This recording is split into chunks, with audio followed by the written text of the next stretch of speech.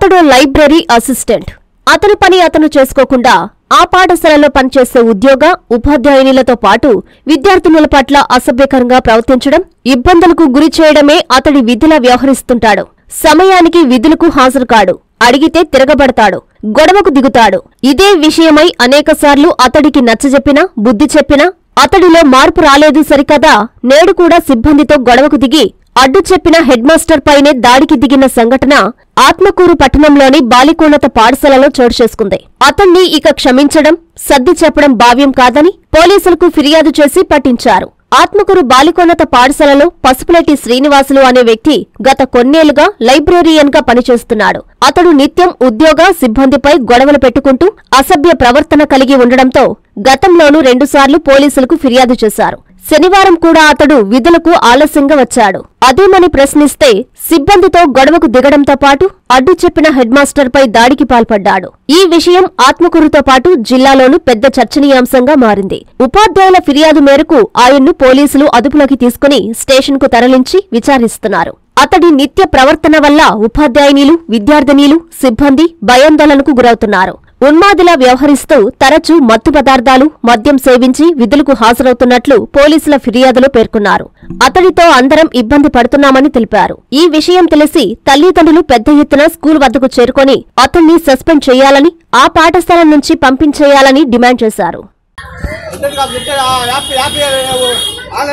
నువ్వు తెలియాలి కదా? టయానికి రావాలి కదా. టయానికి రావాలంటే గమ్ముగుండు దానికి సంబంధం లేదు సంబంధం ఉంది నువ్వు ఒక ఉద్యోగస్తులు ఒక నువ్వు ఒక ఉద్యోగస్తులు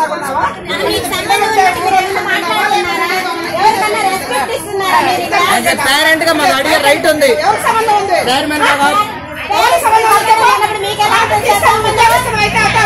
సంవత్సరాలు నీలాంటి వాళ్ళని ఎవరిని ఇక్కడ చూడలా? నీకు ఇష్టం లేకపోతే మనసై నువ్వు మానుకొని ఇంట్లో కూర్చో. తాగు రోడ్డు మీద పట్టుకో నేను అడిగేవాడు ఎవడున్నాడు ఇక్కడ ఒక పేరెంట్స్ నిజంగా నేను. ఆడపిల్లకాయలు నేను చూసి తెచ్చుకోవాలా అంటే నువ్వు ఏమైనా చేస్తావు? నువ్వు ఆడపిల్లకాయలు తాగొచ్చి. నువ్వు తాగొచ్చి ఏమైనా చేస్తావు? నువ్వు ఆడపిల్లకాయలు రక్షణ ఎక్కడ ఆడపిల్లకాయలకి? ఆ? పోతారా అట్లా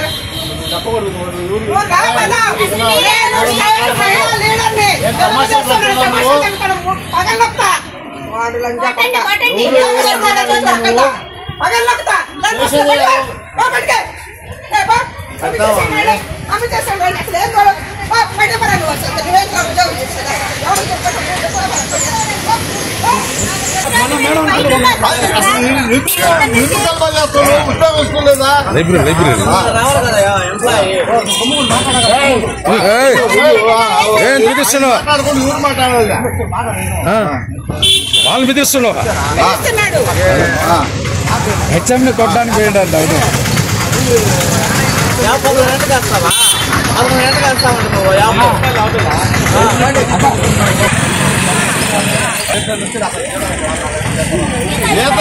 గవర్నమెంట్ వాళ్ళే చేస్తారు? సీఎల్ పట్టాడు ఏది చేయకుండా ఆయన స్కూల్కి వస్తుంటే నేను ఆయనకి ఎన్ని సీఎల్ ఉన్నాయి అప్పుడు వరకు నేను దాన్ని కొనసాగించవచ్చు ఆయన వచ్చినా రాకపోయినా అవన్నీ వేసేసి అయిపోయింది. ఏప్రిల్ నుంచి నేను అతను రాని రోజుల్లో యాబ్సెంట్ మధ్యాహ్నం వస్తే టైంకి వస్తే సంతకం చేస్తారు. ఈ విధంగా జరుగుతుంది. కానీ కావాలని వచ్చి పది పదకొండు గంటలకు వచ్చి రోజు మార్చి రోజు మాకు నేను సంతకం చేయాలి? ఎవరికి చెప్పాలా? ఎవరికి చెప్పుకుంటారు? ఎవరికి చెప్పుకుంటారు? చెప్పు. నేను చేయాలి లోపల అదే సార్ అతని ప్రవర్తన. కొట్టడానికి పోయాడు అది ఈ రోజు. ఈ కూడా కేవలం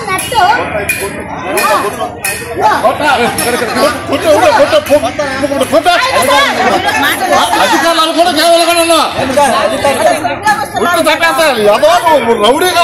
ఉద్యోగస్తుగా ఉండవు గుడ్డలు తీసుకెళ్ళి తీసుకెళ్ళండి కూడా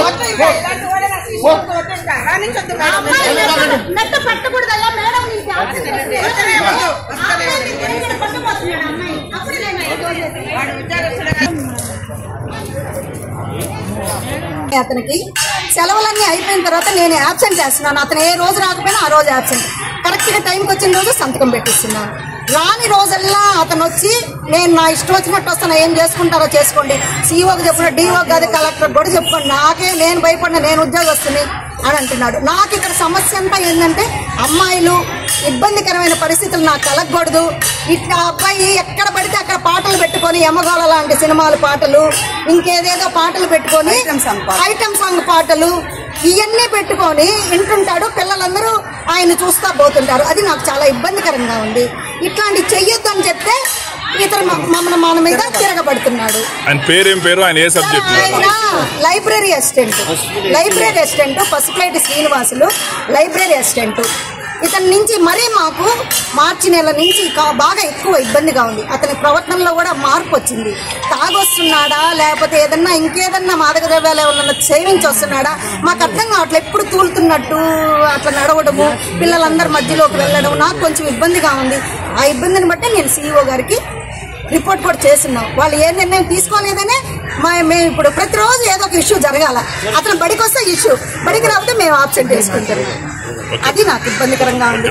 ఓకే హార్దిక శుభాకాంక్షలు. శ్రీ కన్యకా పరమేశ్వరి అమ్మవారి దేవస్థానం స్టోన్ హోస్పేట నెల్లూరు. రెండు వేల ఇరవై నాలుగు రెండు వేల ఇరవై ఏడు సంవత్సరం నూతన కమిటీ ప్రమాణ స్వీకారం చేసిన గౌరవ అధ్యక్షులు శ్రీ కొండా ప్రవీణ్ శంకర్ గారు గౌరవ సలహాదారు శ్రీ సేగు షణ్ముఖరావు గారు అధ్యక్షులు శ్రీ కోట గురుబ్రహ్మం గారు ఉపాధ్యక్షులు శ్రీ వేమూరు వెంకట ప్రసాద్ గారు సెక్రటరీ శ్రీ నిచ్చెనమెట్ల చిరంజీవి గారు జాయింట్ సెక్రటరీ శ్రీ మునుగా వెంకటేశ్వర్లు గారు కోశాధికారి శ్రీ వమ్మెన జనార్దన్ రావు గారులకు మరియు committee members Sri MP Anjaneyulu garu Sri Raja Hazrat బాబు గారు శ్రీ కొలిపాకుల సురేష్ గారు శ్రీ పొడమాల రమేష్ గారు శ్రీ తన్నీరు కిషోర్ కుమార్ గారు శ్రీ వాయుగుండ్ల బ్రహ్మయ్య గారు శ్రీ చాటకొండ వెంకటేశ్వర్లు గారు శ్రీ కారంశెట్టి ప్రవీణ్ కుమార్ గారు శ్రీమతి పైడ కృష్ణప్రియ గారు ప్రత్యేక ఆహ్వానితులు శ్రీ పాబోలు సత్యనారాయణ గారు శ్రీ దుగ్గిశెట్టి అశోక్ గారు శ్రీ కొత్త వెంకట సుబ్రహ్మణ్యం గారు దగ్గుమాటి మురళీకృష్ణ గారులకు హార్దిక శుభాకాంక్షలు. ఇట్లు ఆర్యవైశ్య మిత్రమండలి. ఆగస్టు రెండవ తేదీ శాకంబరి అలంకార దర్శనం జరుగును. కావున భక్తులందరూ పాల్గొని అమ్మవారి కృపకు పాత్రులు కాగలరు.